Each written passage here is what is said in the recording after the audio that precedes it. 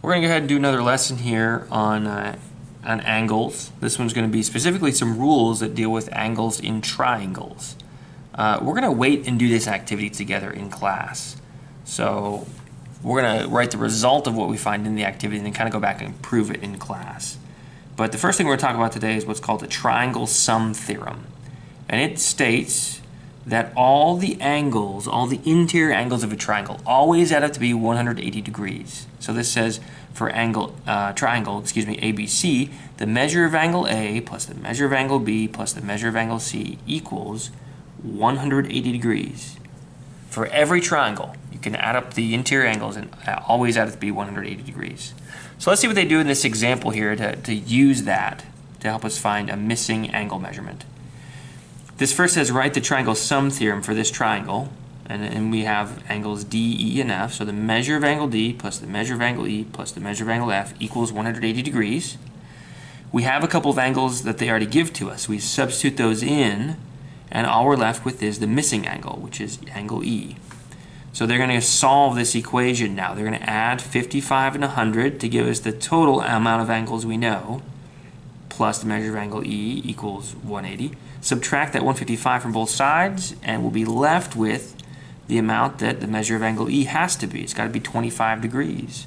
So the measure of angle E is 25 degrees. And you can kind of check that by making sure that all these angles added up together equal 180. So 100 plus 55 is 155. 155 plus 25 is 180.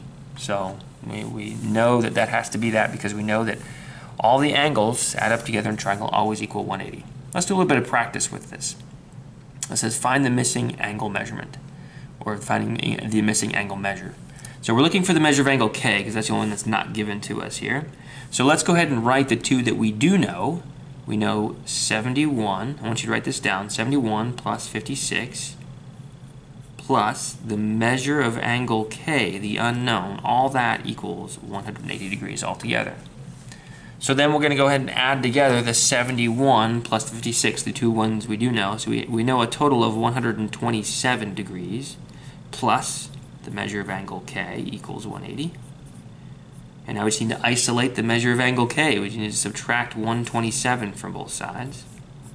So the measure of angle K equals 180 minus 127, which is 53, equals 53. So 53 degrees for that missing angle measurement. Number five, the one we're missing here this time is R. So let's go ahead and write the one, two that we do know. We know 29 plus 61 plus the measure of angle R equals 180 degrees altogether. So we're going to add 29 and 61 to give us 90. 90 plus the measure of angle R equals 180. And then we just need to isolate the measure of angle R. So we subtract 90 on both sides. And the measure of angle R equals 180 minus 90 is 90. So I guess this is actually a right angle here. 90 degrees. So that's um, the triangle sum theorem. We can find the missing length or missing uh, measurement of a, an angle as long as we know the two other measurements. Just subtract them from 180, right? Okay, there's another one. This one's a little more complicated. It's uh, about exterior angles and what are called remote interior angles. Let's read through here. It says, an interior angle of a triangle is formed by two sides of the triangle. So right here it says angles 1, 2, and 3 are interior angles, right there. An exterior angle is formed by one side of the triangle and the extension of an adjacent side. So if we extend one of the sides of a triangle, we can make a, an angle here from one of the sides of the triangle and the extension of this side here. So when you extend one side, it gives us that exterior angle. So angle 4 is an exterior angle. Each exterior angle has two remote interior angles. A remote interior angle is an interior angle that is not adjacent to or not next to the exterior angle. So here's our exterior angle. The one next to it's angle 3. The two remote interior angles for angle 4 are 1 and 2, the ones not next to it or not adjacent to it. So angle 1 and angle 2 are remote interior angles to angle 4. Now there's a special relationship between the measure of an exterior angle and the measure of its remote interior angles. And so we're gonna we're gonna kind of go through here and do a little proof to show what this special relationship is. So let's follow through here and see what this this gives us. A says extend the base of the triangle and label the exterior exterior angle as angle 4. So let's go ahead and extend this. And we're going to call this exterior angle angle 4, just like we had up there. Part B says the triangle sum theorem, the one we just worked on on the other side, says that the measure of angle 1 plus the measure of angle 2 plus the measure of angle 3 is 180 degrees. We also know here that the that angle 3 and angle 4 here form a straight line between those two. So write that in. They form a straight line. Well, what do we know about the measurement of a straight line? We know that a straight line is also 180 degrees. So the measure of angle 3 and the measure of angle 4 is 180 degrees as well. So we're going to use these two equations that we made um, in the previous parts B and C to complete the following equation. The measure of angle 1 plus the measure of angle 2 plus the measure of angle 3, which is 180 degrees, is equal to the measure of angle 3 and the measure of angle 4. We know that all these added up are 180, but we also know that angle 3 and angle 4 are 180 degrees. And now we're going to use the properties of equality to simplify the equation in part D. In other words, we can go ahead and subtract the measure of angle 3 on both sides because there's two, there's one on each side, there's one on each side to subtract, so those will cancel out. And we're going to be left with this equation here that's going to help us understand this relationship between an exterior angle and its two remote interior angles. So it says use the properties of equality to simplify this. It's the measure of angle 1 plus the measure of angle 2 equal, we cancel that out, the measure of angle 4. In other words, the exterior angle theorem states that the measure of an exterior angle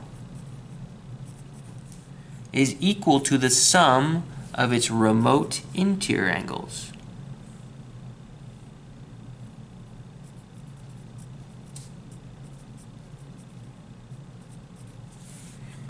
So in other words, angle 4 has the same measurement as angles 1 and 2 combined. We know that because these add up to 180 altogether and these add up to 180 altogether. So if you just take away angle 3, what's left over for angle 4 and the combination of 1 and 2 are the same measurement. So let's do uh, let's look at this example that they do and then we'll do a, a practice problem with this. So the example they show for this says find the measure of angle A and the measure of angle B. They want us to find A right here and B right here.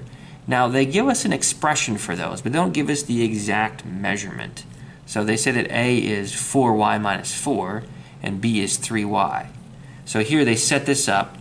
We know that the measure of angle A and the measure of angle B, these two remote interior angles, is the same as this exterior angle, which they've labeled ACD, ACD right here, which is 52 degrees. So then they just substitute those values into the given angle measurement, or into this equation here. So 4y minus 4 plus 3y equals 52.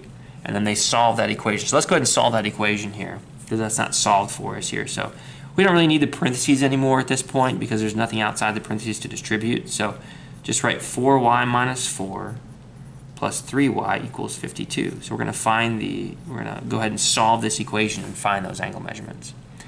So the first thing that I notice is that we have some like terms to combine. 4y and 3y gives us 7y minus 4 equals 52. And we continue to solve that. Subtract 4 on each side. Solve for y here. 7y. 52 minus 4. Um, excuse me, plus 4. We need to add 4 to each side. 52 plus 4 is 56. Then we divide by 7. And y equals 56 divided by 7 is 8. So we now know that y equals 8. So we can plug that in now into these two different spots and see what we get. So for angle B, say the measure of angle B is equal to, we plug in 8 right there, 3 times 8 is 24. The measure of angle A, we plug in 8 right there, 4 times 8 is 32, 32 minus 4 is 28. And remember, these are supposed to equal this exterior angle altogether as well. So does 24 plus 28 equal 52? I think it does. So it looks like we're on the right track there. This is a little complicated because they're giving us expressions here instead of ex um, exact measurements, so this can be a little tricky. But let's go ahead and do number 8 here. It says find the measure of angle M, this angle right here, and the measure of angle N. And again, we're given some algebraic expressions for these. But we know that these two um, remote interior angles will equal this exterior angle, which they give us as 146. So let's set up an equation here. We have 5y plus 3 and then if we add in 4y plus 8, we know that that's going to equal 146 altogether. So there are no parentheses here anymore once we've rewritten this. So let's go ahead and combine like terms. 5y and 4y is 9y. And so I'll box those in here. And then 3 and 8 equals 11. And that equals 146. So if we combine our like terms, now we just have a two-step equation here. So we're going to subtract 11 on each side as we try to isolate y. 9y equals 135. Then we divide by 9. See if we can figure out what 135 divided by 9 will be. It's going to be 15. So now we have a real value for y that we can go back and plug into these expressions to figure out what these measurements are. So let's go in for M right here and let's plug in 15 right there. So I believe 5 times 15 is 75, and 75 plus 3 should be 78. So the measure of angle M should be 78 degrees.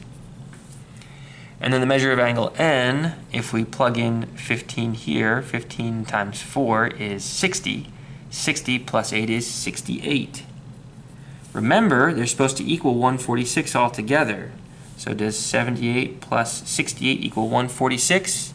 It does. So we know that we're good to go.